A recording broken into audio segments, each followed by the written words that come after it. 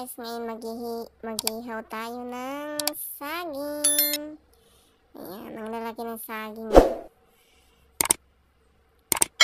Ihaw-ihaw din minsan. Ganyan. Merenda. Ang merenda namin ay banana Q. Yung inihaw na saging. Buhay probinsya. Ganito kami dito. So, ayan. Babalatan ko na yung saging na napakalaki. Ayan.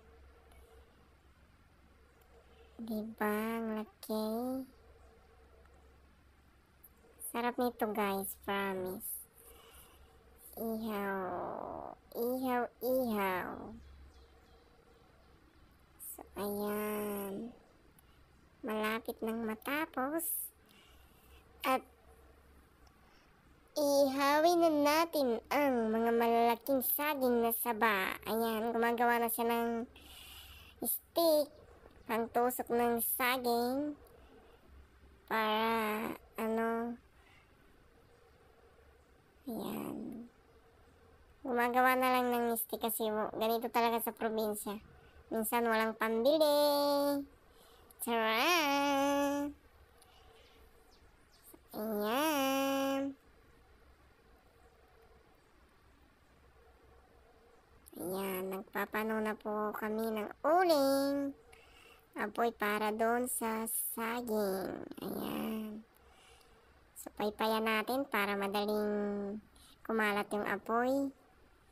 Para madaling maluto ala si pusa tulog oh si Mingming ayan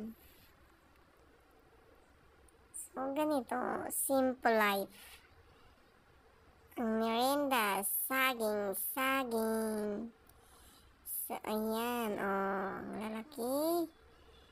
Ang laki ng saging. So, ayan. Malapit na. Oh, ayan. Pakalaki naman ng masaging na to. Hindi ka na malulugi. So, star margarine.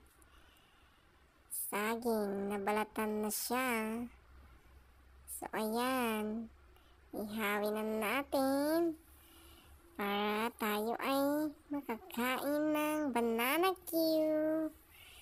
So, ayan. Ayan. Iusog natin ng konti. Ayan. Paypayan natin. Para hindi pa masyadong nagano yung apoy pero nilagay na kasi para pag ano na yung apoy, luto na yung kabila yung sa ilalim. Ayan. So, ayan. It's look yummy. Sarap. Masarap. Masarap. Ayan. Luto na yung kabila. Binalikan na natin para oh, ayan. Oh. Ganda ng pagkaluto. Oh. Hmm, ang lalaki. Naalala ko nung bata ko, guys. Pag uwi ko ng, ano, galing school, pag uwi ko ng bahay, tatakbo ako din ng, ano, may nagluluto dun sa amin. Tapos, dati tig piso pa yung ganito, pero ngayon hindi mo na makuha ang piso eh.